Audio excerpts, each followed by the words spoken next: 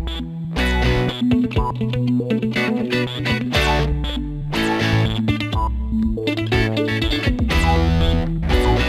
รับ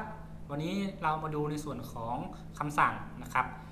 การครีแบงค์นะครับ ลักษณะงานที่เป็นฮีลิกนะครับหรืองานที่เป็นเกลียวลักษณะเป็นแบบนี้นะครับ ในเวอร์ชันใหม่นะครับของปีนี้นะครับ ตัวโปรแกรม Top Suite ก็สามารถที่จะทำการนะครับครีแบงค์นะครับ ลักษณะงานแบบนี้ได้แล้วนะครับ คำสั่งนะครับจะอยู่ในหมวดหมู่นะของงาน Sheet Metal นะครับอ่าอย่างนี้เลยแถบเมนู Sheet Metal นะครับ แล้วก็ไปที่คำสั่งนะครับ unbending นะครับเหมือนเดิมนะครับ พอคำสั่ง unbending เนี่ยครับมันจะมีคำสั่งขึ้นมาให้คำสั่ง bend ถูกไหมครับ แล้วคำสั่งนะครับ bend นะครับ deformation นะครับ แล้วก็ตัวที่3นะครับสำหรับงานที่เป็น helix โดยเฉพาะนะครับงานที่เป็นเกลียวนะชื่อว่า dialog bend นะครับคำสั่งใช้ง่ายมากนะครับ เราก็เลือก fix ขอบเหมือนเดิมว่า fix จุดนะครับ แล้วก็เลือกผิวที่เราต้องการที่จะเบนนะครับ มันก็จะทำการ c r e e bank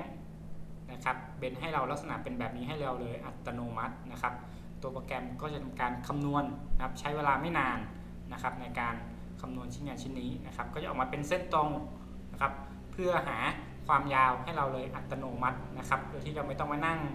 วัดเองต่างๆนะครับ ออกเป็นครีแบงค์ได้เลยนะครับ ลักษณะงานที่เป็น งานเบนนี่เห็นไหมครับ ออกเสร็จแล้วจากนั้นเรากดถูกนะครับเพื่อยืนยันครับเราก็จะเราก็จะได้ความยาวนะครับของงานที่เป็นลักษณะงานที่เป็นฮีดิกนะครับโอเคกดละ เรียบร้อยนะครับ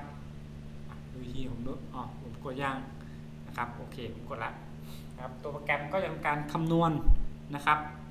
งานจากที่เป็นวงกลมนะครับ ก็เป็นงานที่เป็นมีความหนานะครับ แล้วก็เป็นเส้นตรงเพื่อหาความยาวของชิ้นงานอัตโนมัตินะครับ อันนี้ก็จะเป็นฟังก์ชันใหม่นะครับในตัวโปรแกรม Top Suite ครับ